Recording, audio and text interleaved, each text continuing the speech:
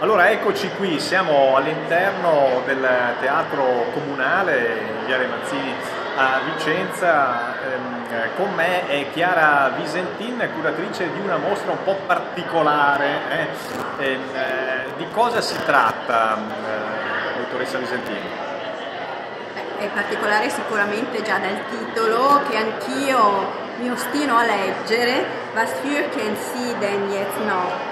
in tedesco è terribile, però ha un significato, ce lo dica? Assolutamente, è una frase, anzi devo dire una delle frasi eh, più incisive di che cosa hai ancora paura adesso, che Lulu, nell'opera di Wedekind, eh, pronuncia al suo in realtà unico amore dei tanti che ha avuto eh, il giornalista eh, Dr. Schoen.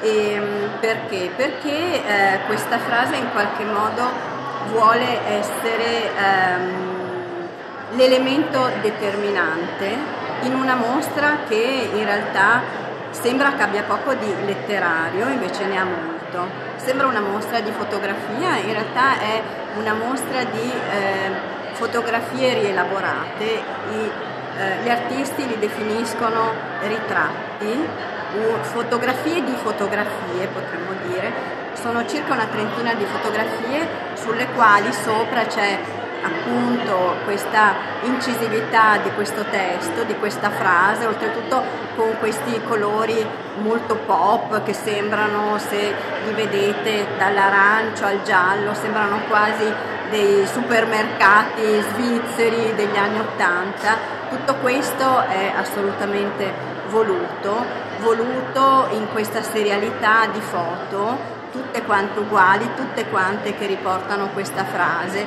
Sono foto di personaggi, eh, oltretutto sono quasi tutti dei cittadini di Vicenza che non sorridono, che ti guardano quasi ponendoti loro stessi questa domanda, ma non sono tristi, sono assolutamente, come dire, eh, inquisitori ma eh, perché questa, queste, queste, immagini? Queste immagini fanno parte di, del percorso degli artisti Anna Rosa Romano e Paolo Monterisi. Ecco, sono due artisti di cui appunto non abbiamo parlato fino ad ora, ma chi sono questi due artisti? Sono due artisti che lavorano tra Treviso e Milano. Questa a Vicenza è la loro prima volta qui nel capoluogo berico e eh, hanno una modalità assolutamente concettuale nell'uso di molteplici forme espressive della, dell'arte contemporanea. Non a caso non c'è solo la fotografia, anzi potremmo dire la fotografia della fotografia, non c'è molto spesso l'uso del testo letterario, questa mostra potremmo anche definirla una sorta di homage ad un'altra grande artista che loro amano molto, la francese Sophie Calle, ma c'è anche un lavorare su altre forme artistiche come la scultura, la scultura e l'uso eh, plastico della ceramica, la videoinstallazione, al teatro c'è una videoinstallazione site specific, come anche site specific c'è una grande eh, marionetta in tessù, cioè un grande pupazzone potremmo dire. Gettato a terra, e che significato ha? Di oltre tre metri, gettato a terra volutamente. Le persone potrebbero anche calpestarlo. Oddio, I bambini, mamma mia, i bambini, lo fanno già. I, bambini ci possono assolutamente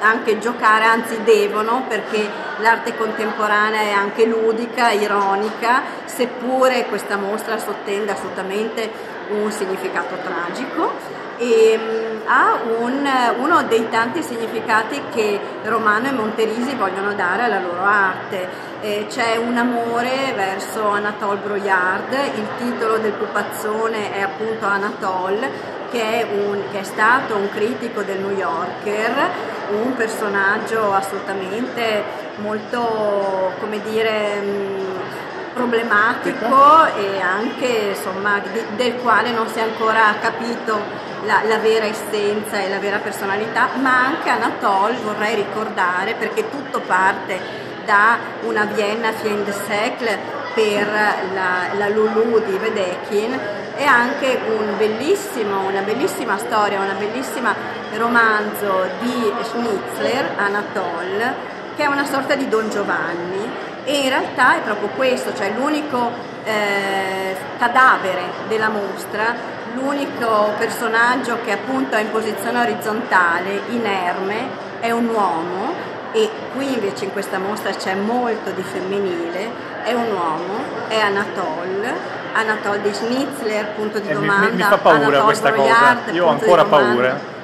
Eh, ma eh, non è una donna, seppure purtroppo Lulu tragicamente è l'unica, è l'ultima eh, protagonista morente della, dell'opera da cui appunto è stato tratto il titolo.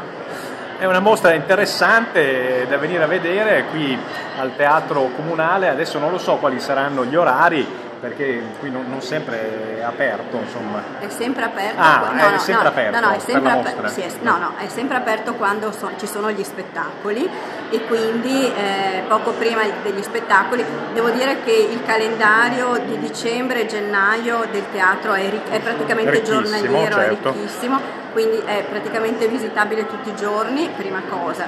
Seconda cosa, una cosa interessante, ci sono delle... Eh, eh, degli set fotografici che possono essere fatti da tutte quante le persone che vogliono. Eh, questa è una cosa bellissima.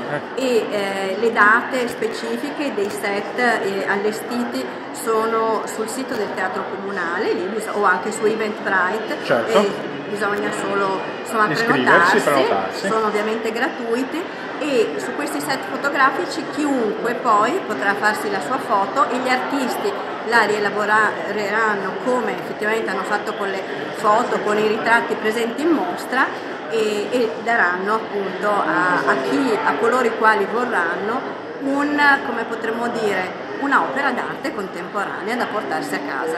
Ecco, allora grazie a Chiara Visentin, rileggo, vediamo se riesco a leggere Was fürchten Sie denn jetzt noch? Questo è il titolo e gli artisti sono, eh, vediamo se riesco a leggere, Anna Rosa eh, Romano e, e Paolo Monterisi. Anna Rosa Romano e Paolo Monterisi.